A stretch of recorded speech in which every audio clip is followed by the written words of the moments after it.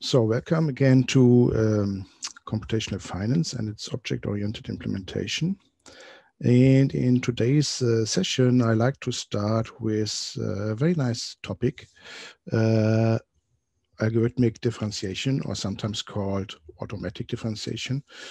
Um, well, the name algorithmic differentiation sounds maybe a bit more, more fancy, more advanced, but actually the method is very easy. It's just uh, very simple, just the chain rule. Um, and uh, the uh, detail uh, or the the uh, well the trick lies in how we apply the chain rule and how we how we implement it. And uh, before I start with discussing the method, I would like to start with a small coding session as a motivation. So um, I would like to program a little bit. That takes a little bit of time, yeah, because I will write the program uh, live. And also the stuff I do is quite trivial. But uh, while doing this, uh, maybe I explain a few important concepts and uh, we will come back to these uh, concepts uh, later. So what I like to program is very simple. I would like to consider the function uh, that is the hypotenuse of a triangle. So uh, z is f of x and y. Uh, this is the square root of x squared plus y squared. Okay, so I would like to uh, uh, apply this function. So I would like to perform a certain calculation. So uh, for example, I would like to have C is f of A and B for values and now you can choose maybe nice values. For example, if A is 7 and B is uh, 24, then um, you see that uh, uh, 7 squared plus uh, 24 squared, taking the square root, will give you 25. Or maybe another, another nice example, which you know by heart is uh, 3 and 4. Uh, 3 times 3 is 9, 4 times 4 is uh, 16, uh, the sum is 25, the square root is 5. So they are the so-called uh, Pythagorean uh, triple. Okay, so and I would like to program something that calculates C, very, very simple program. And then I'm interested in calculating dz by dx for our values x equals a, y equals b. So I would like to calculate this. Yeah. So actually, I like to calculate dc by dA. Okay. And um, so you know that we talked about numerical methods, so we could approximate this by a finite difference. Yeah? So a finite difference, choose some small epsilon and apply uh, the epsilon to A. So add it to A and then evaluate the function minus the original value divided by uh, epsilon.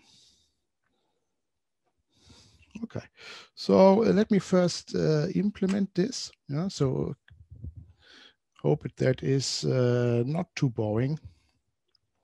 Uh, okay, what is what is this here?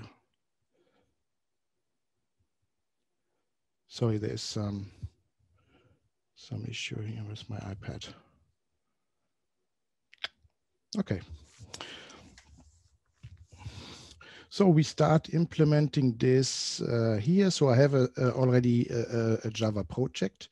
Um, and uh, let's create some class here. So a new Java class. And if the class uh, should be executable as a program, uh, there has to be some static uh, methods or some function, public static void main, uh, and I call this differentiation experiment hypotenuse. So, um,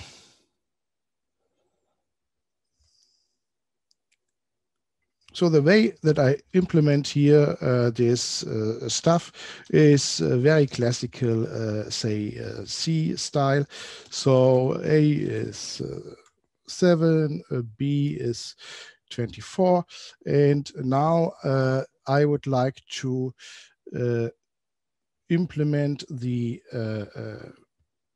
calculation in a specific function. So there should be some function, let's call it uh, hypotenuse uh, of A and B. Yeah. And now let's uh, print uh, this uh, out. Yeah. So um, we uh, calculate the result for A is equal to that value so this plus is just concatenation of uh, strings and b is equal to that value. So we have some some kind of uh, headline here. So maybe I can put this here yeah, because it is where we have uh, done the work. Uh, the the um, uh, declaration, and um, let's print a new line. Yeah. So here and then let's uh, print uh, the result here. So the um, value is, okay, C equals to, okay, so maybe I need a bit of space here. Yeah, let's go to here because there will be more stuff coming. C. Okay, and now you see that uh, my uh, uh, IDE, my Eclipse is here complaining because he doesn't know this function. Okay, he is giving me advice. I should create it. So let's create it. And he just creates a dummy here.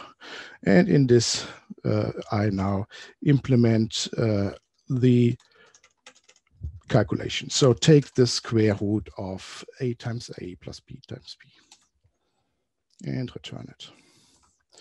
Okay, so now I can run this uh, little program. So I go here and select uh, run as a Java application. And we see uh, the result.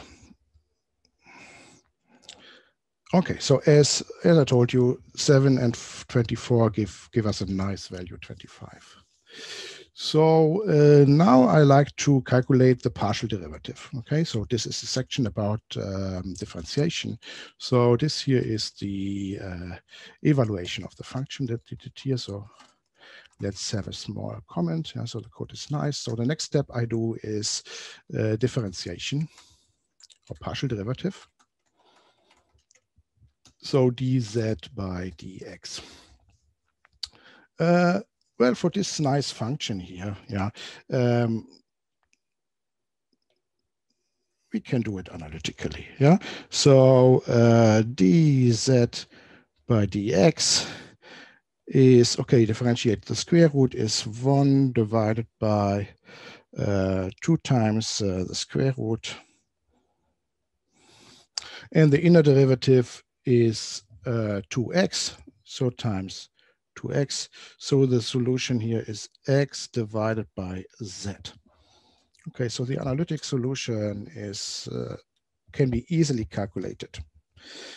Okay, so that uh, is not always the case, but let's maybe just uh, print this. So I can write here uh, dz um, dz dx analytic, and this is uh, x divided by z.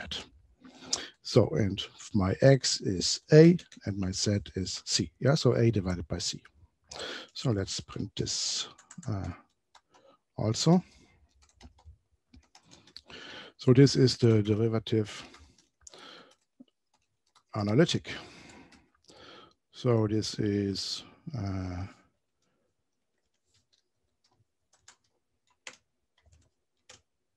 that value. Okay, maybe I print a new line so we have a little bit more space here. Oh, and run the program. Okay, and we get um, 25 divided by 7, so 0.28. Yeah? So that is the solution which we like to achieve. So next thing is to implement this by um, a, a numerical method, let's say by a finite difference. Okay, so a finite difference. So the partial derivative dz by dx by finite difference is the next thing I like to do. Okay, so for that I need some um, epsilon. Yeah? So um, let's uh, put the epsilon, let's define it here. Yeah, so actually usually it's maybe a better code style that you define your variables very close to uh, where you need uh, need them. Yeah. Um, so let's define it here. So we define a small epsilon. Okay, so actually, we, what is a good epsilon? Yeah, so maybe we take 10 to the minus, uh, 5. Okay, so I like to calculate the um, derivative with respect to, uh, sorry, that is an x here. Yeah? So it's dz by dx. Uh, with respect to x, dz by dx uh, with a finite difference. Okay, so how do I calculate this? I call just my function twice. So I call hypotenuse of um, a plus epsilon. And I call my function on a and b. And then I divide all this by epsilon.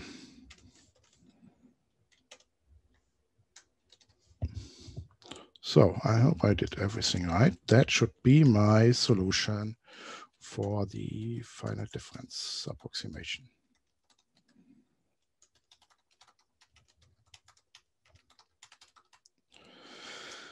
Okay, so um,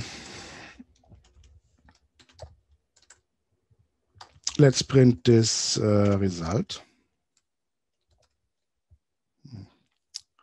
So I hope I did everything correct. Yeah? So maybe I should align this a little bit more. So maybe it can be like this.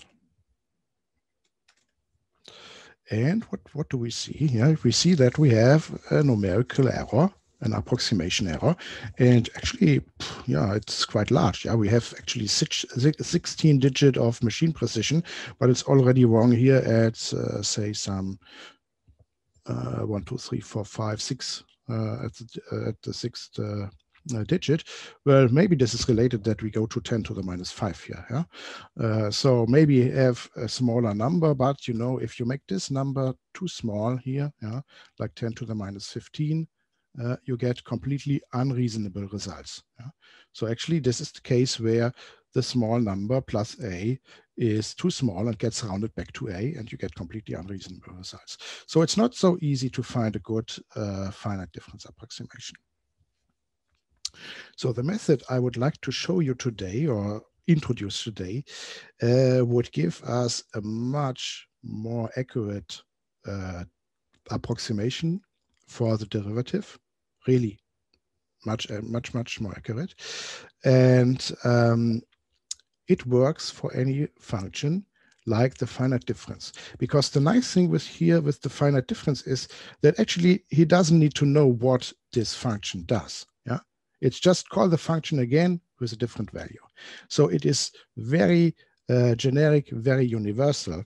Uh, uh, that once we can evaluate the function, so once we are able to evaluate the function, we are actually able to calculate an approximation for the partial derivative. Um, the method which we introduce is similar, of similar um, um, um uh, universality, uh, but does not have uh, such a big approximation error. And um, well, it's almost exact yeah, to some extent. And um, well, we will then explore later other um, advantages in order to introduce this method, I have to modify, say, prepare a little bit my program. And I like to do this preparation now with you. So actually here, this is just classical C coding style, and I'm using um, a floating point number double. But you know, Java knows objects, and there's also an object representing the double. And actually, I could just do the same here with um, the double uh, that is an object. So maybe um,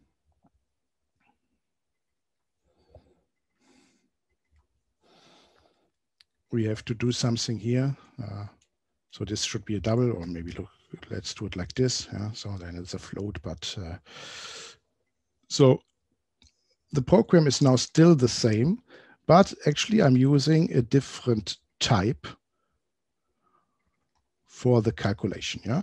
So you know maybe that the double uh, with the capital D in Java is an object uh, an object representing the floating point double. So an object means that you can call some method uh, on this. Yeah? So for example, if I like to show you uh, that uh, this is an object, yeah, I, I have the dot operator. So if I have now C, I can apply the dot and the object can perform certain operation yeah. You can compare it uh, to the byte. You can check if it is uh, not a number. You can check if it is infinity and so on yeah. So you can perform certain operations on it. Uh, one operation which i like to perform on this object here uh, is to print the type of this um, object. So the type is what is the name of the class yeah, that was used uh, when the object uh, was created. So I can ask this object for the class. So get class, and then I can ask for the name. You know, and there's also just a simple name. And if I print this, uh, he will print us that this object is here of type double. Okay, so now I'm do doing the same calculation with uh, objects. Uh, now I like to introduce my own object uh, because I like to have uh, um, the possibility to track what he's doing. So I want to um, know what calculation is done at what uh, uh, step in the program. And for that, I'm defining now an interface, and the interface uh, is the definition of the functions that can be applied to the object. And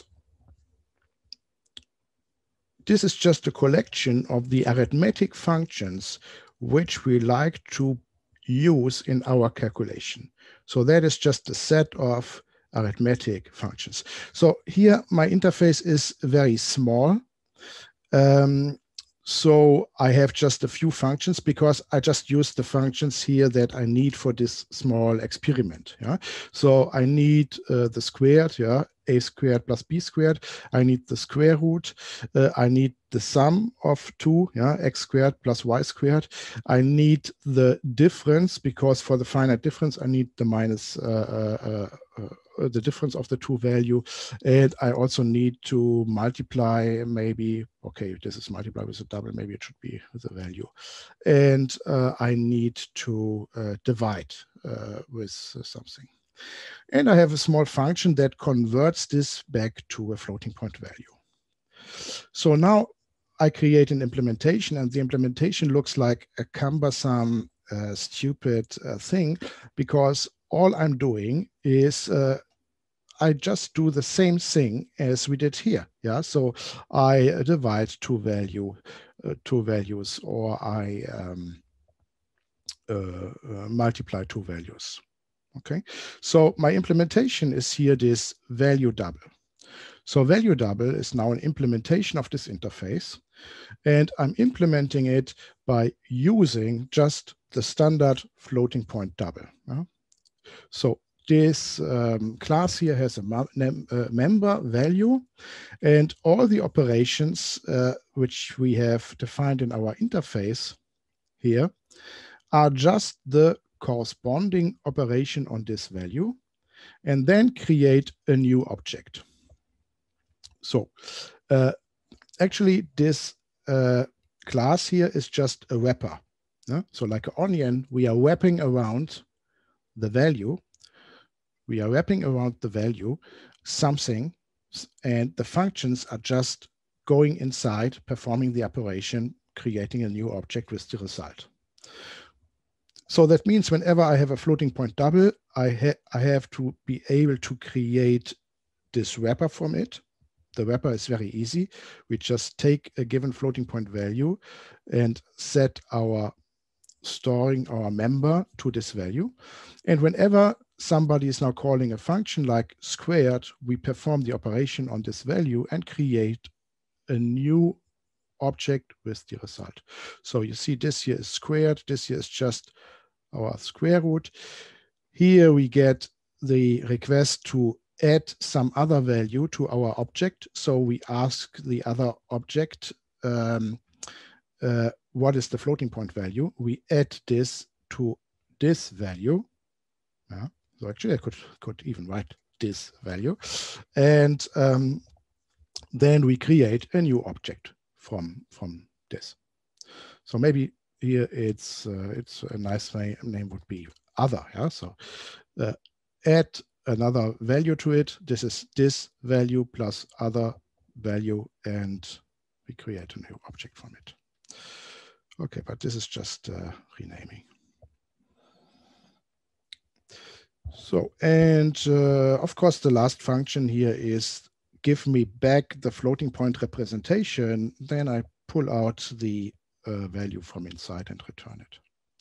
So very, uh, very uh, simple uh, things, yeah, an interface and an implementation. So now I would like to go back to my program and I would like to convert the program uh, to perform the calculation using this.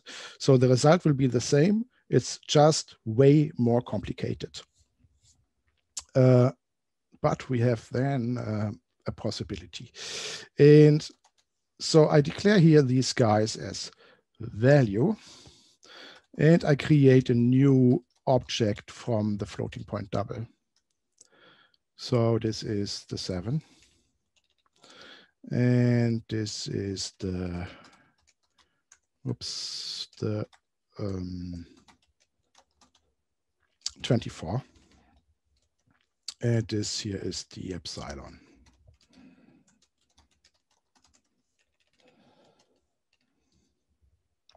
Okay, so now he's complaining here, yeah, because he says I have to import this. Uh, yeah, he has many types that are called value. So I tell him I would like, whenever I write value, I would like to have this implementation and value double is this implementation. Okay, so now he's complaining here, yeah, because here uh, hypotenuse requests A and B to be of type uh, double. Yeah, so I have to rewrite my function. So my function now operates on the type value. And it also returns on the type value. Well, the star operator and the plus operator are not defined for this uh, uh um, uh, class. So actually in Java, it's not even possible, yeah, in Java 11. Uh, but for example, in Scala, it's possible to define methods as infix operator that have a name uh, like star. Uh, but here it's just easy. If we like to have the square of a, a is now an object, I can write a dot squared. Okay. And the same for b. So I can write b dot squared. Yeah? So now this is my, my interface value, which tells me this function is available. Okay, I also don't have the infix operator plus, but I have a method add. Yeah, so add this.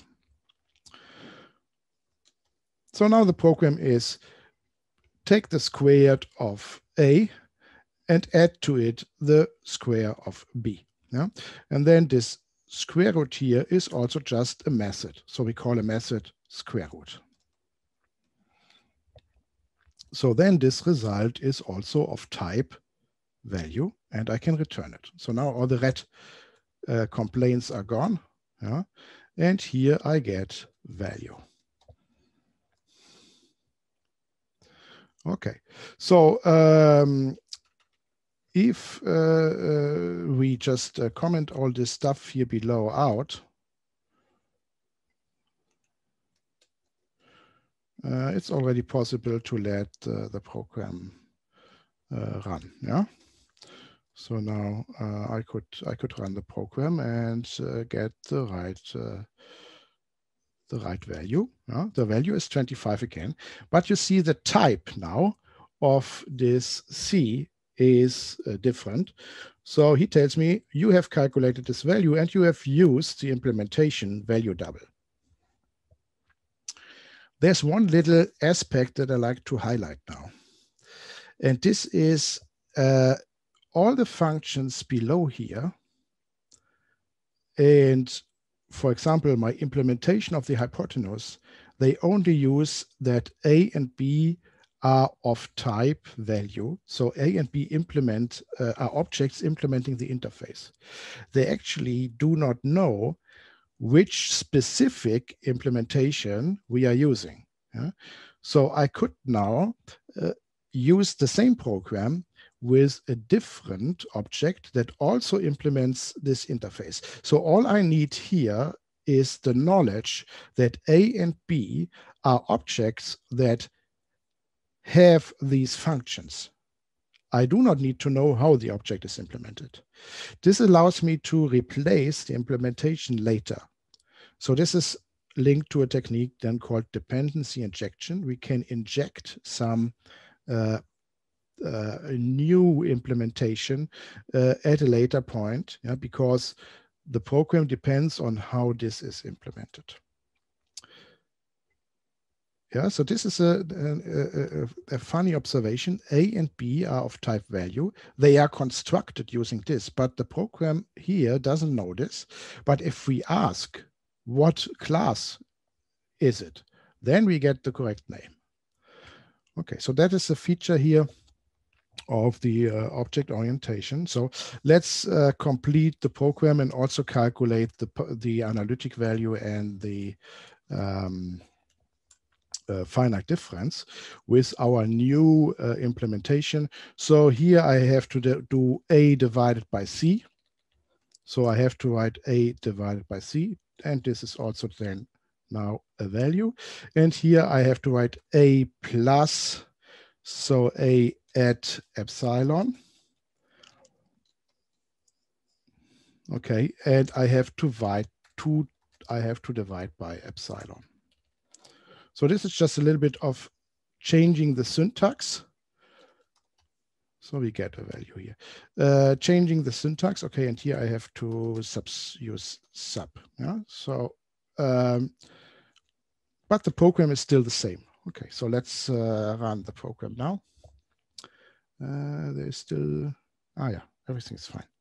And you see we have the same uh, result with the same rounding error.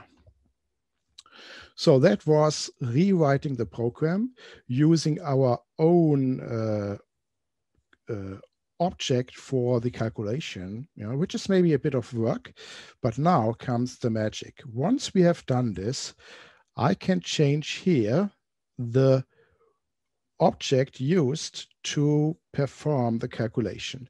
And I have another object, uh, so which is here, value double differentiable, which I don't show you uh, which can be also used. So if we use here value double differentiable instead of value double,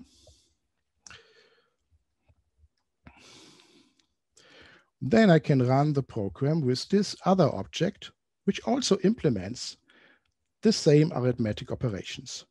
And you see, if you now ask, okay, what is the type of the result? You see it's now a different type, but the result is the same it's value double differentiable. Uh, but value double differentiable, if you take a look into this uh, um, implementation,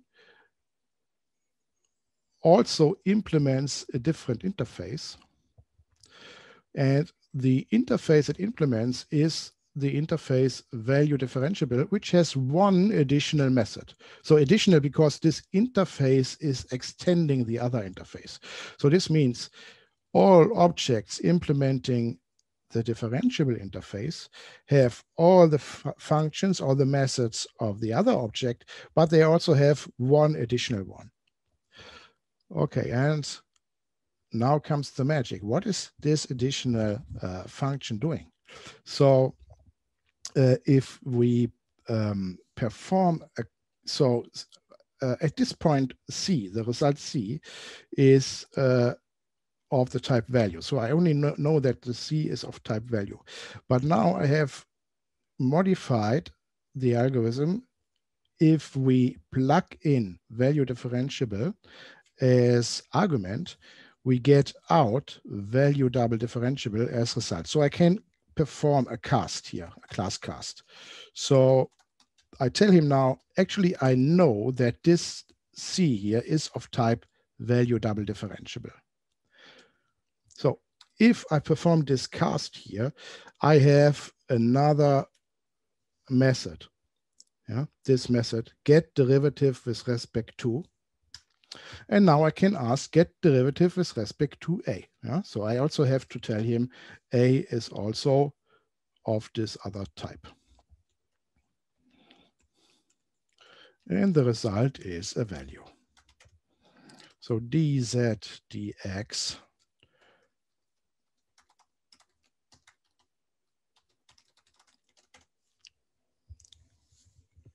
using algorithmic differentiation is now just ask C, okay, what is the derivative with respect to A? And uh, let's print this out. Yeah, so um, of course, this is a bit unfair. Yeah, I don't show you yet. Yeah, we will have a look later how, how this is done, but I just want to show you the, the magic. Uh, and uh, there is now an additional method that calculates the derivative. And you see that the derivative is exact, okay? So how is he doing this? Okay, so we will explain this uh, in a few uh, uh, minutes, but actually what we do is we know how derivatives propagate while we perform calculation. There's the chain rule that tells us how, how this is propagating. So what we can do is whenever we are here uh, in a function that performs a calculation, I can automatically remember what has been done and later analyze this yeah, or propagate the derivative uh, immediately. Yeah? So this depends on how you implement this and calculate the derivative. Uh, I would like to conclude this session. Yeah, so this is magic. Yeah, and actually this algorithm is very powerful, uh, and uh, uh, in, in, it's also very fast. Yeah, depending on how, how the application works, and uh, or what your what your application is. And uh, it's also the algorithm that is below the um, training of neural networks, the the backward propagation.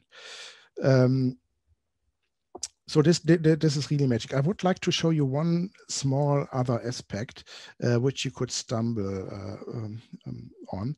Uh, let's take here a different uh, um, set of values. Let's take three and four. Yeah?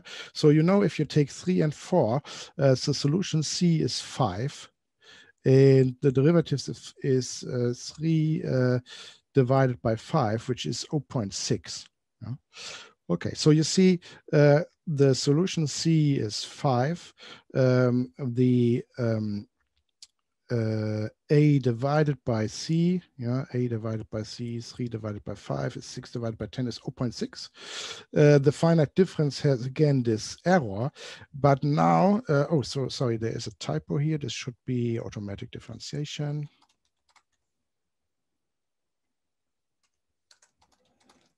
So Uh, let's have the output again. Yeah, so now it looks nice. And you see that our automatic differentiation uh, has a small, tiny uh, rounding error. Okay, actually, if you look at the rounding error, this is exactly at the machine precision. And what has been done here is one bit, uh, the lowest significant bit has flipped. Yeah. So there's a small rounding error. So, okay, where did this rounding error come from? Uh,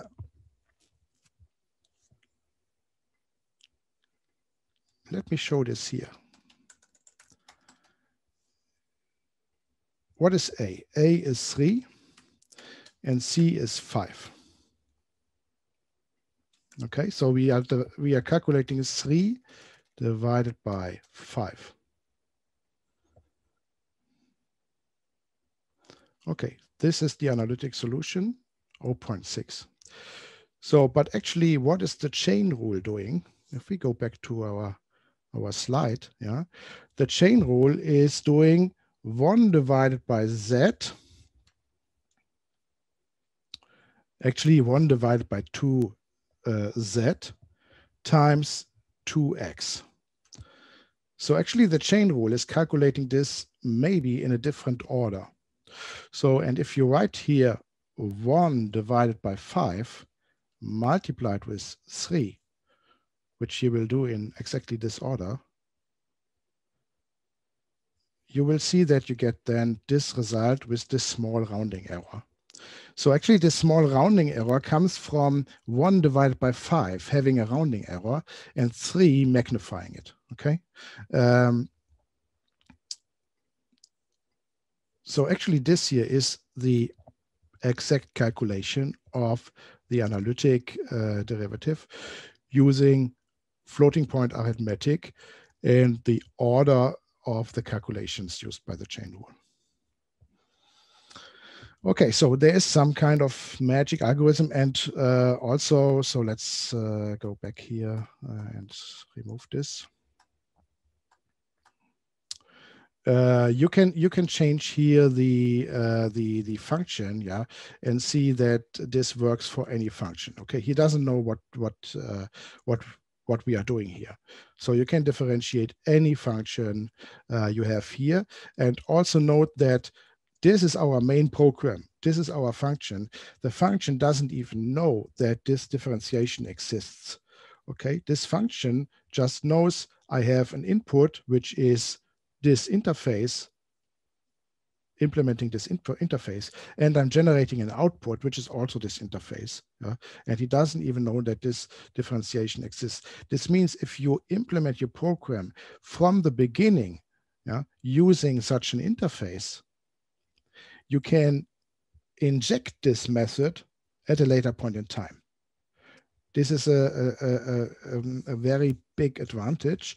And maybe this shows you how important it is to have a good design of the computer program. So that was uh, maybe a bit lengthier motivation. Uh, yeah, so for for uh, a little bit more than 30 minutes of motivation for this. Yeah, but uh, also maybe interesting that there are some aspects from from uh, yeah some design patterns yeah, uh, that are important here. Okay, so now uh, let's uh, discuss this uh, in more detail. Well, first I repeat a little bit what we did, and then I give a very formal um, uh, definition of how it is done. So um, the first observation is that any computer program is actually a concatenation, so a sequence of very basic operators. Uh, if you consider just the CPU, the processors, then you have very simple operations like add, uh, uh, multiply, subtract. Maybe you have some higher level functions, exponential functions. Um, but uh, sometimes if you have a very simple processors, even those are approximated by polynomials and so on. So each operation depends on some previous uh, results and it generates one new result. So this means each operation is actually a function, a function of several arguments, and it generates one new result. And we have some um, independent values, the initial values, the inputs. So these are the three constants I declared in my program on the top. Example was our little program. Yeah. So uh, we have some inputs, A and B. And maybe you would write this program uh, in C or Java or C++ or whatever like this. A is 3, B is 4, and then calculate square root of A times A plus B times B. But the computer will actually execute this, or if you have a compiler or interpreter, yeah, uh, translate it uh, to um, some, well, more lengthy program that has smaller steps. Yeah. For example, the computer will maybe do something like this. He will split it to first calculate a squared, store it somewhere, calculate b squared, store it somewhere, calculate the sum of the two results, store this result somewhere, and calculate the square root of c squared. So you see that our program involves actually three different operations, multiply, add, and square root. And he concatenates the um, operations.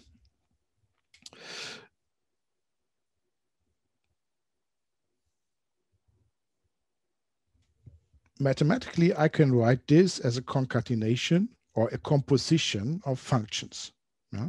So the function uh, u is uh, x times y, and it is applied to um, the two arguments a and a. So this is a squared. The function v is the same function. It's also x times y. So u and v are identical. But here it is applied to b. So then we have results, which we call u and v, yeah? and the results are plugged into a function g, yeah, which is taking the sum, and then this is plugged into a function square root. So we can write this as a concatenation uh, of function. Actually, there's a nice graphical representation uh, of this. Uh, we can represent it as a tree of operators. Yeah? So here in this tree, I used uh, a slightly different uh, function here for the first step, not x times y, a function of two arguments. I just used x squared. So like in our program, yeah, in my in, in my program in the interface, we had the function squared that automatically performs this on a single argument. Uh, so that, but that just um, uh, modifies a little bit how the tree looks like. Yeah, so if this is a function of two arguments and it would be the function x, uh, say, um, multiplied with y. Yeah. So then this is a function of two arguments which have the same value. Yeah. Then the tree would look like this. Okay. So, but maybe let's have the tree in its original form uh, looking like this. So we can represent our computer program as a tree where the nodes are results and a new node is generating by a vertex, which uh, or by vertices, yeah, to uh, the previous result, generating a new um, uh, node. Yeah? And uh, maybe this here is our final result. Okay, this here is our final result. This is our C, and these are here the inputs. Yeah, this is our A, and this is our B. Okay, so we have a nice uh, representation of this uh, program as a tree. I will come back to this later. So what we like to do is we like to find the derivative of the result, so C, with respect to one or more of the inputs. Yeah? So here in our example, I would like to calculate dC by uh, dA. Okay, so we are interested in calculating dc by dA for such a composition of functions or such a sequence uh, of functions. So one possible way is just to evaluate our tree or our function uh, twice and uh, perform uh, finite differences. Yeah? So one way is to perform finite differences. And you already saw that this has uh, issues yeah. So actually, we have to evaluate the function twice. Yeah. So the, the computational cost is twice um, the evaluation for every partial derivative. This can be improved greatly. And another issue is uh, that it has numerical errors.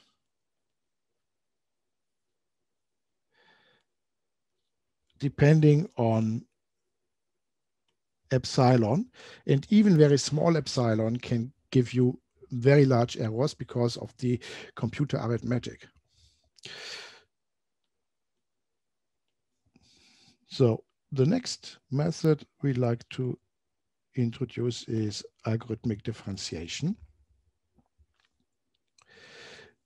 And if you have such um, a sequence of compositions of functions, you know that if you differentiate this, you have the chain rule that does the following. Um, so maybe just have a small remark here with f of g. Yeah. So f of g differentiated by the chain rule is the outer derivative f prime. So actually f prime evaluated at g. Yeah. But maybe we can drop where it is evaluated to keep this a little bit more implicit. Yeah, it's always evaluated at the value where also the function was evaluated, and then multiplied with the inner derivative g, yeah, evaluated at where the function g was evaluated. So you see that composition is replaced by multiplication, and the function is replaced by a partial derivative, the derivative of the function with respect to arguments if you have a function that is um,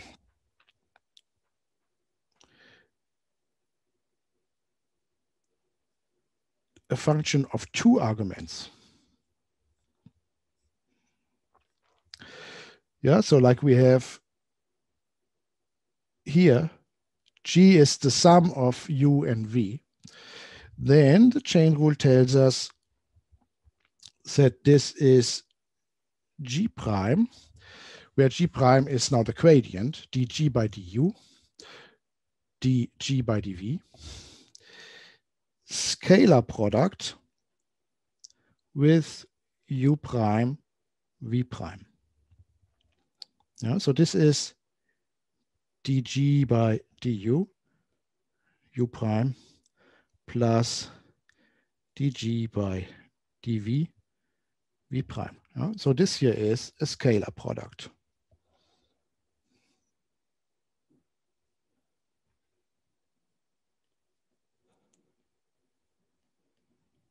So also this here is a scalar product, yeah, but just on vectors with one element.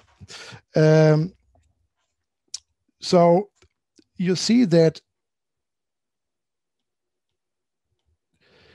if we differentiate a list of arguments. So if a function has multiple arguments, yeah, so this results in a sum of the individual inner derivatives, yeah, or we can write it as a scalar product. So we have that the function is replaced by their derivative by, by its derivative, and the composition is replaced by the multiplication.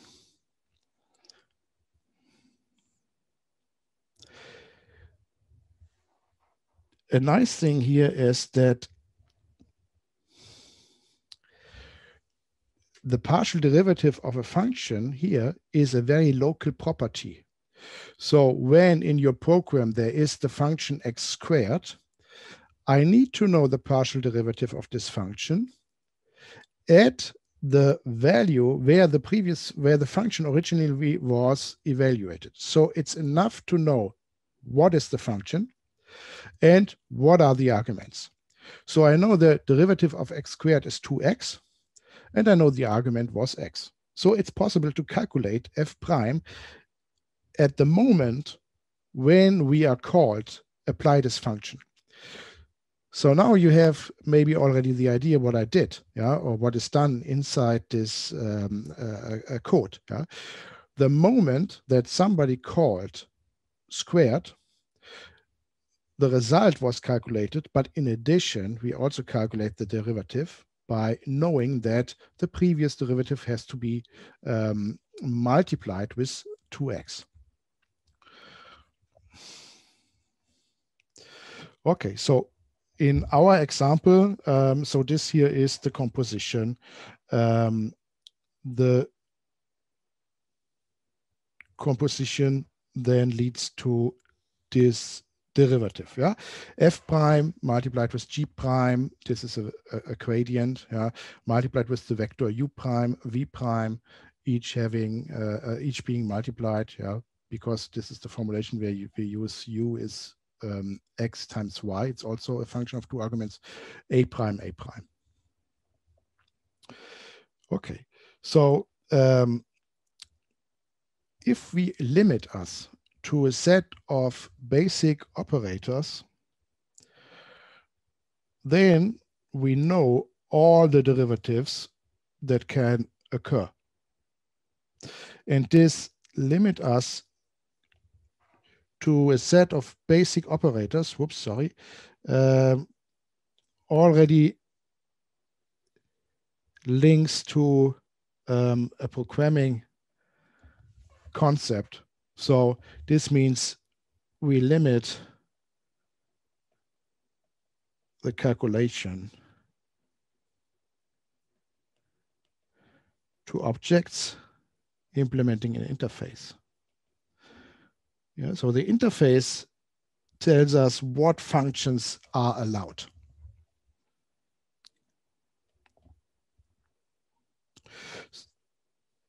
So maybe you have to have a quite rich interface, yeah, exponential function, logarithm, sine, cosine, whatever you you you you could have, but uh, actually you also uh, get quite far uh, with a very small set uh, uh, of of functions. Yeah, for example, even also in in mathematical finance, there are only a few a few functions. Uh, so if we have this, we can uh, generate the derivative and um, get get get also a very nice and small uh, lean implementation. So that was now an introduction. Yeah. So very simple example, but the essence uh, was already here. And uh, now the slides become a little bit more uh, ugly and uh, technical because I like to uh, fix the not notation and make this um, well, a bit more formal. Yeah. So I consider that my computer program uh, has a certain set of inputs. Yeah? So my values x0 to xn minus 1 are the inputs. So even if at a later point in time there is another constant, yeah, for example, that uh, you are or, or, or another input that you are multiplying in between with another input, I view this here as uh, an independent um, uh, being uh, inside this uh, sequence from x0 to xn minus 1. So these are the inputs of my computer program, and we are interested in calculating the derivative with respect to these inputs. Yeah, so we are interested in calculating these guys here. So my computer program has these inputs and has an output y. Hmm. So this here is uh, the output. So this is my output Y. Oh, maybe I take a different color here.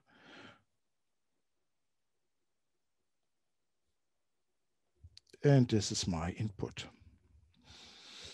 Um, so the whole program is a huge function, but this function f is actually created by a sequence, concatenations concatenation of function which create intermediate result. So these guys here, xm, are now intermediate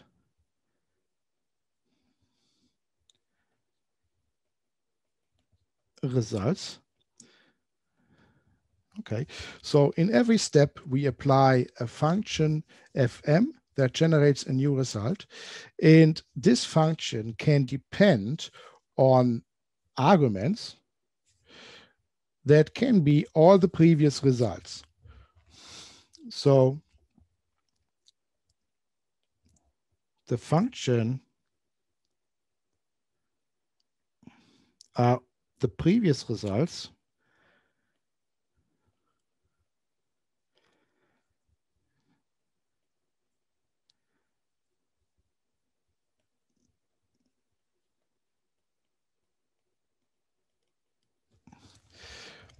And the only condition we have is that the function cannot depend on a value which is calculated later.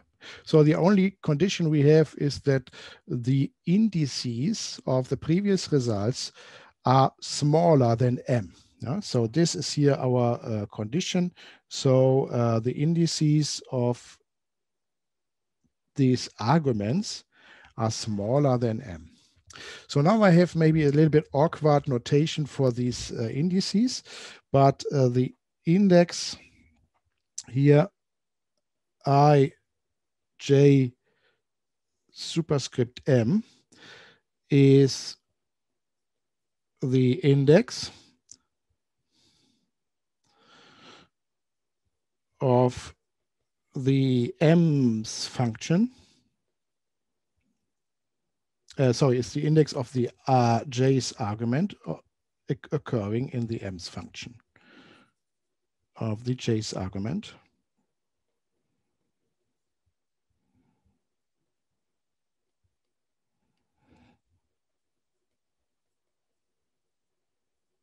of the m's function.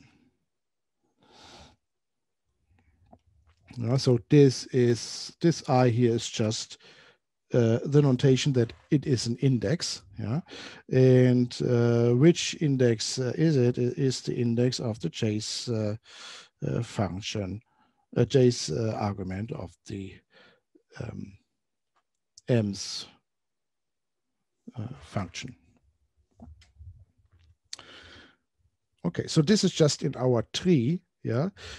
where are these guys uh, going. Yeah, so this here is my, uh, if we have this uh, little tree, so maybe we draw this tree here. Yeah? So this guy is a function depending on this, and this one has maybe two arguments like this, and this has maybe two arguments like this. Okay, then this one is the result here, and it depends on these arguments. Okay, and uh, this here is maybe now the number uh, one, two, three. Yeah, so these are the leaf nodes. These are the independents. So we have, uh, so I started at zero. So let's start at zero. This here is zero, one, two. Hmm, so maybe this is more consistent. So x0, x1, x2.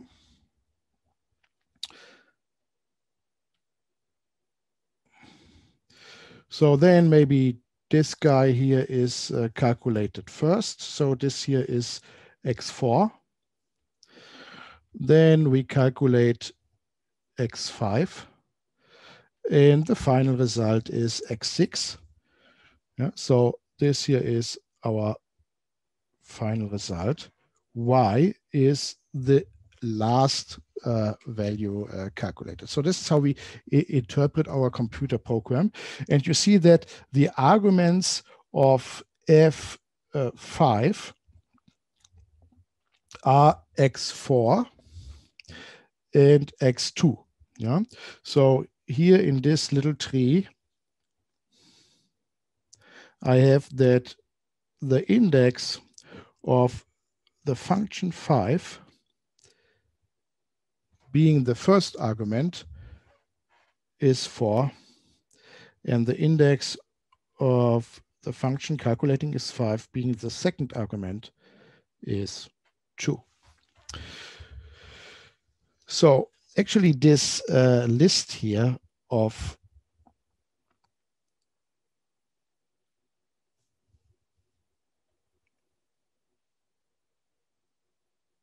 arguments is all we have to remember in addition to which function was executed.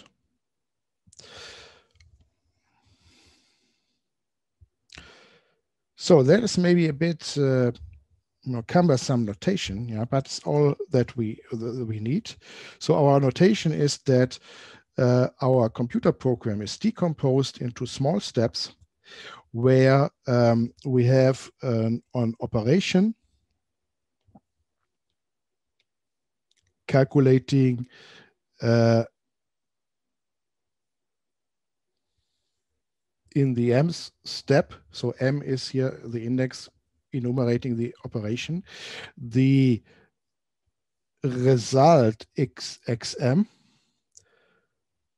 So xm is the result of the um, m's function. So this depends on previous results. So it depends on arguments. All the arguments have just the condition that their index is smaller than m because the function cannot depend on a value that will be calculated at a later point in time. Uh, the functions are just from a known small set uh, of functions. So we allow only a, a, a, finite set of functions. So we know all functions.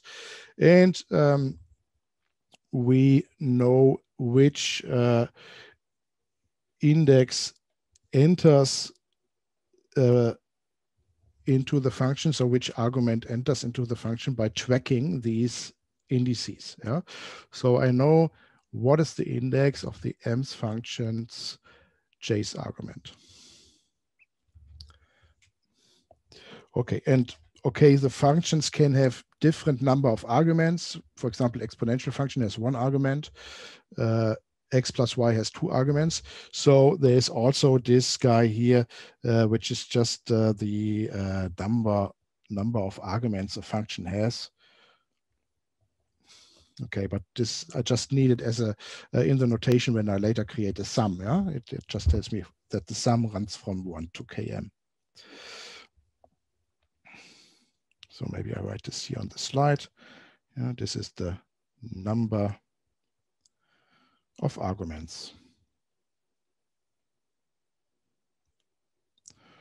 of the m's function.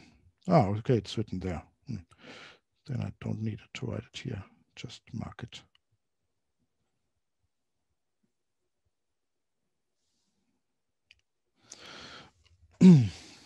so this km is then the last index there yeah, examples for these functions are uh, functions that have one argument, so called unary operators. So k superscript m is then equal to one, like exponential, logarithm, square root, uh, functions that have two arguments, so binary operators like uh, take the sum of two values, the difference, multiply, divide. Yeah.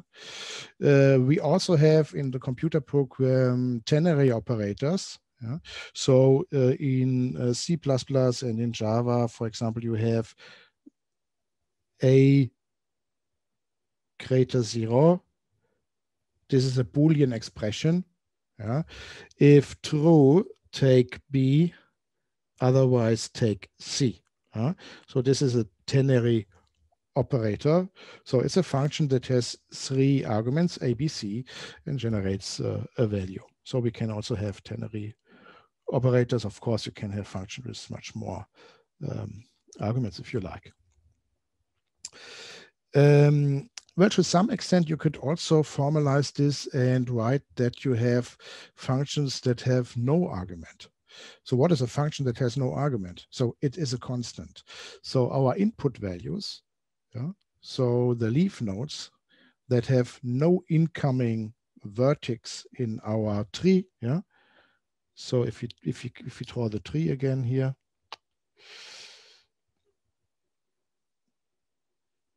hmm, so uh, so okay, so how is the tree drawn? So then maybe like this here. Then these guys here, the leaf nodes, they have no incoming vertex. Apart from this, all nodes have incoming vertex and the number of incoming vertices is the number of arguments. And the ones that have no incoming vertices are the functions that have no arguments. These are just the constants, the monad. Um, another interesting aspect is uh, the following. Uh, we are free to define which functions we consider. And since we use uh, the uh, implementation later to calculate the derivative of the functions, it's maybe nice or efficient uh, to have some functions that appear very often in our application uh, defined in our interface. Yeah? So uh, for example, on uh, GPUs or, or, or, or processors, uh, you have uh, uh, specialized functions, yeah, for graphic cards or whatever, that perform um, a more complex operation. A very simple example is the so-called uh, fused multiply add operation, uh, which is actually part of many uh, processors. So it is a function of three argument, uh, arguments and uh, it uh, performs a plus b times c. Yeah, it's just because a plus b times c appears very often. Yeah, or the scalar product yeah, of a vector yeah, can be interpreted as a function of many arguments. Uh, in mathematical finance, there's maybe another example. Um, if you have interest rates, yeah, you have a certain amount. And if this amount grows over a certain time period with a certain interest rate, uh, it grows like 1 plus b times c. Yeah? So this here is um, accruing the amount A over a time period C with the rate B. This operation appears very often in mathematical finance. So maybe it could be uh, a fixed uh, function in our set of functions. So this um, is an advantage uh, which we may use uh, to improve uh, performance of the program.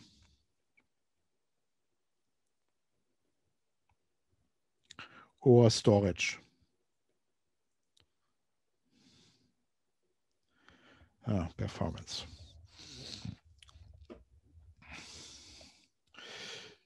Okay, so um, yeah, this is just a, a, summary. Yeah, so we like to calculate the final result xn. Uh, we have the inputs x0 to x little n minus one. We have a sequence of operations, and uh, we need the argument lists. Yeah. So this is uh, all um, we need. So now we have the notation. So now if we are endowed with this notation, how can we calculate the partial derivative? So as I explained, this is just uh, the chain rule, which is now used here. Yeah, so we apply the chain rule forward alongside the valuation. So what we do is um, we the first value that we have to calculate is x little n. Yeah? So x little n here is the first function. And it is a function that depends on um, the arguments. Yeah? So we can calculate what is the derivative of x little n with respect to an input. Yeah? Okay, so this is just the derivative of the function f n with respect to an input. Then in the next step, I like to calculate the derivative of x n plus 1 with respect to such an input. Okay, so now I know the chain rule. This is differentiate f n plus 1 with respect to its arguments. So what are the arguments? So now I need this ugly notation. So with respect to an argument, x i superscript n plus 1, and then j, it's the j's argument. And then the inner derivative. How did the j's argument depend on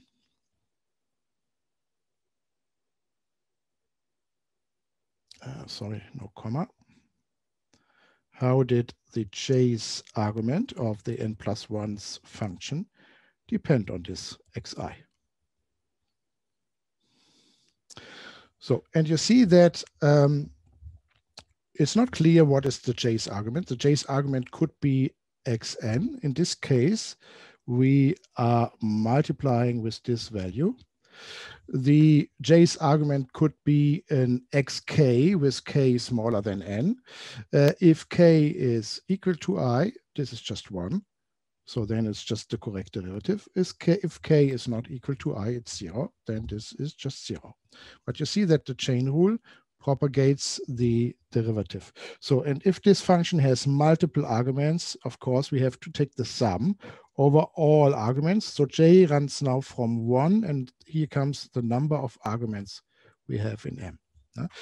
Okay, and so on. So this step here is uh, just uh, what I wrote there in the second line. So this step here is the chain rule where I have that the derivative of a function fm with respect to its arguments, uh, with respect to uh, any input is the derivative of the function with respect to its arguments and how does the argument depend on this input. So we uh, propagate here forward. Yeah? So we run forward through the operator list. Yeah, so we run forward through the operator list. And if we are finished, so if we are if we arrive in uh, m equals n, then x capital N, so n m equals capital N, x capital N is our y, and this gives dy our final output with respect to an argument.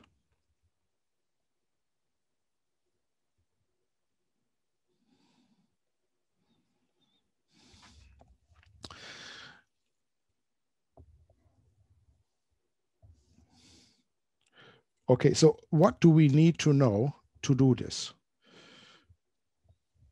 So we construct these guys here iteratively. Yeah, we propagate uh, the derivatives through the nodes. And the only thing we need to know is this part.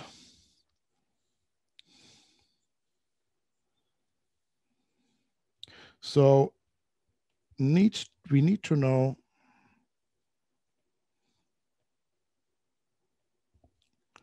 the partial derivatives of a function with respect to its arguments, if our set of function is limited and we know the derivatives analytically, uh, then we can just implement these because at the moment when we evaluate the function, we know the, uh, the arguments. And uh, we need to know the argument list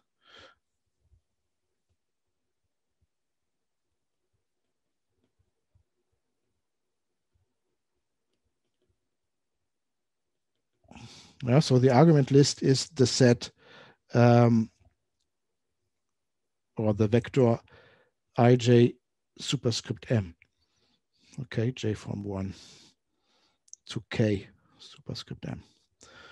So I need to know which value was used in this function uh, because uh, I, I need this here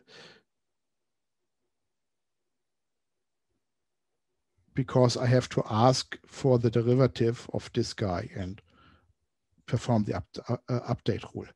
So you see there is some kind of bookkeeping, but apart from the bookkeeping, this is quite uh, simple. And also you see that if you can calculate all your partial derivatives, so the orange uh, block here, analytically, this is the analytic derivative apart from rounding errors that occur in multiplication and summation. Yeah, so there's no additional numerical approximation apart from the machine precision rounding errors, as long as the functions can be differentiated um, analytically. So later, when we do this in a Monte Carlo simulation, we will see that there are cases where we cannot um, uh, get a very accurate uh, uh, uh, analytic value for the derivative, and there will be other approximation errors, but then it's the time when things become interesting. So this is the forward automatic differentiation, but um, what is really much more popular for some application is the so-called backward uh, uh, automatic differentiation, uh, which is the uh, chain rule applied uh, backward. And let me, uh, to, to finish this session here or to finish this part, uh, shortly uh, mention this and then we can have a more detailed look next time. so um, if you forget here on this slide that we ha can have functions of multiple arguments and just think that we have a function of a single argument. Say here is x1 and and then there is uh, x2 yeah? And uh, then this goes on to y. Yeah, so this is here x2, x3, and all these guys are just functions of one argument. So it's f of g of h of whatever and here is why, then the forward uh, differentiation does the following. The derivative of x with respect to x1 is actually equal to the derivative of x uh, with respect to uh, x3 with respect to x1 multiplied with x4. Yeah? So if I take here a slightly different color, so let's take here, um, say, a, a, darker green. Yeah? So then this picture is that the dark green derivative here is given by multiplying this derivative x3, which is the argument of the function, with respect to x1 with the derivative, the partial derivative. Okay, so this is the partial derivative. And you see that now this algorithm just walks forward and calculates all those derivatives until it arrives at the end. So, but there is another alternative to apply the uh, chain rule. And this is the backward automatic differentiation. And before I start looking at the slide, I would like to just make here the same drawing again. Yeah, so for the simple case that we have only one argument in each function, so it looks like this, then it goes a little bit on, and here we have our y, which is the xn, x capital N. Okay, then this here is x capital N minus 1. This is x capital N minus 2, x capital N minus 3. Then we can also use the uh, chain rule uh, backward. Yeah. So um, this means that the derivative of y with respect to xn minus 3. So this was here now the dark green guy, is the derivative of y with respect to xn minus 2 multiplied, so this was here the light green guy, multiplied with the partial derivative, how does x and 2 depend on xn3. So, and now this algorithm can go backward. Yeah. And in the end, we arrive at how does y depend on x1. So this here is our partial derivative. Okay. So you see here in this uh, uh, notation, I'm calculating the derivative of y with respect to r, yeah, where r is smaller than m, where r is smaller than m, by uh, doing the following. Um, what is the derivative of y with respect to m? So this is the derivative of y with respect to a later value multiplied with how does this later value depend on an argument. Okay, now maybe the notation is a little bit uh, cumbersome if we uh, consider uh, multiple arguments, but uh, what do we have to look look for? So if we if we draw the tree here, so let's draw the tree. This one depends maybe on this value, and maybe this one here depends on uh, that value, and also on uh, that value.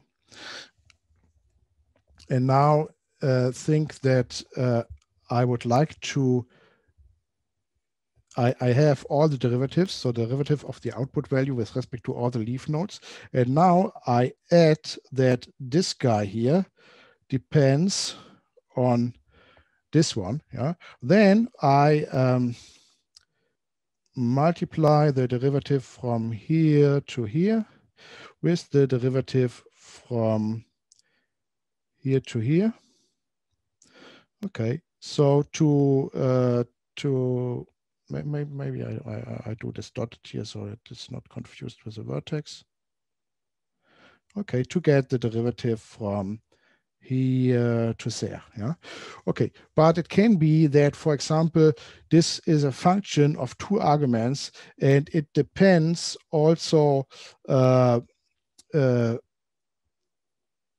both argument depends on this one, like we had in this A times A. Or it could be that this node here also enters into this one. Yeah.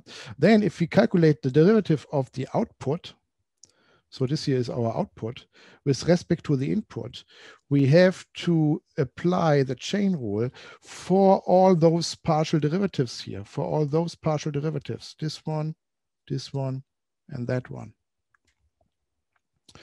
Uh, so what does this mean? This means uh, apply the chain rule for all values where xm uh, where uh, um, xr enters as an argument. Okay, so how do I find all functions where xr enters into the argument, enters as an argument? Okay, this is exactly this what's written here below the sum. I subscript j superscript m is the index, so the argument, used in the m's function at the j's argument. If the m's function has xr as an argument, then uh, this index will have the value r. So we sum over all indices and functions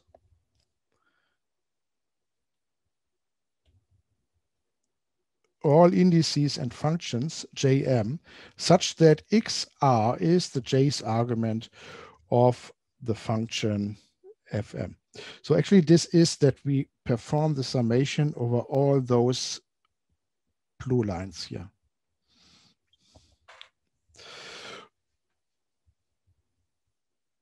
So looks a little bit cumbersome and maybe one, one thinks, okay, one, one has to check this, but actually I have a much nicer uh, formulation, which is also quite easy to prove and which is much nicer to implement. But this is actually the same um, uh, technique, uh, use the chain rule to calculate the partial derivative of uh, the output with respect to the inputs by iteratively propagating the derivatives through our um, tree. Uh, and here we do it backward, and here we do it forward. And the only thing we have to know is what is the list of arguments and what is the uh, function used. Yeah, so we can do both once we have this uh, information. So uh, we only have a few minutes left. I'd like to conclude by giving you this uh, alternative uh, formulation. So in this formulation, we actually pull the derivative. So here are the derivative. So think of we propagate the derivative to the nodes. So we propagate the derivative down here, down here. So what we do here is we say, okay, let's take a look at a new node. And then we have to pull the derivatives by performing this summation. The summation is just the, the sum of the chain rule. So which functions, uh, which values depend on this guy. Um, this is in the computer program a little bit complicated because it means that you have to know which later function uses this value. And actually, if the program runs forward, it is much easier to know which earlier value was used by the current functions, because this is just the arguments. Yeah? So the list of arguments is just which earlier values were used in this step. This is easy to remember. But the stuff here is not easy to, to, to, to get. I mean, you can do it, yeah, but this means is you have to update a list that keeps track of which later value uh, used a given argument. So for which argument, uh, uh, uh where is this argument entering? Yeah? So instead of uh, um, which argument are used by the function. So this formulation is a little bit um, yeah, complicated from the implementation part. So I like to have an alternative equivalent formulation. And so here's just uh, uh, uh, a summary of what I said. Okay, we have a backward uh, iteration, and the nice thing of the backward iteration is that we just need the uh, partial derivative for all values. But um, in this formulation, we pull the derivatives from the dependent node to the argument node, which somewhat how reflects the chain rule, but is not nice to implement. And it's maybe nicer to push the values from the dependent node to the argument nodes. And then this algorithm looks like this. So we first initialize um, values dn equals to 1 so the dn equals to 1 is maybe the initialization that dy by dy is equal to 1.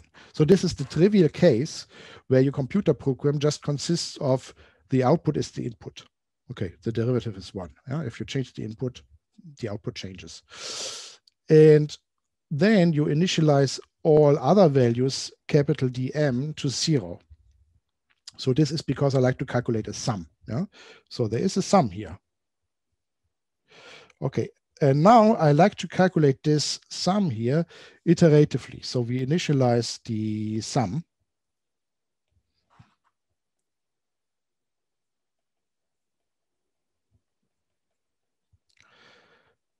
Okay, and what is in the summation? So in the summation is just this part here. Um, multiply dm, which will be the derivative of uh, y with respect to xm when we are done, multiply the derivative of y with respect to m with how does m depend on the argument. And I put, I write this value in the storage dijm, so which is the, the, the derivative of y with respect to this argument. So, but since I just use this for a single pair j and m, this value is not uh, correct unless I have iterated through all functions and all arguments. So if I have iterated through all functions and all arguments, this update rule will give us this sum. So it means that if we perform this algorithm here, then in the end, dm is equal to dy by uh, dm. This uh, formulation here is uh, much nicer because the way we, we iterate is um, uh, exactly like we have the information. So all the information needed is um, for a given function m,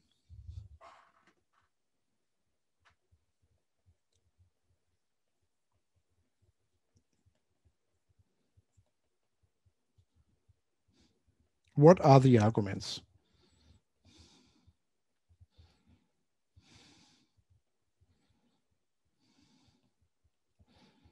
So the answer is, it is just i, j superscript m for j from 1 to k superscript m. And this is um, uh, something we can easily store, okay? So go through all your functions. What are the arguments of the functions? Perform this update rule. So that was uh, my little introduction to uh, algorithmic differentiation. So we can we can prove this uh, by induction. So maybe we do this next time, and uh, then uh, we will have a, a look at um, how do the two methods compare. And actually, this is this is quite interesting because one method is way faster than the other, depending on how the function is structured. Yeah, and um, okay, so uh, a last remark.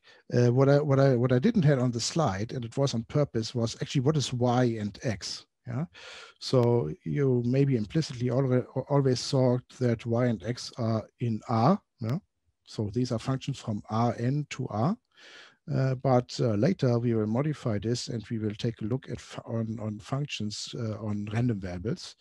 Uh, so everything becomes stochastic and then becomes interesting. So thanks. That was uh, it for today.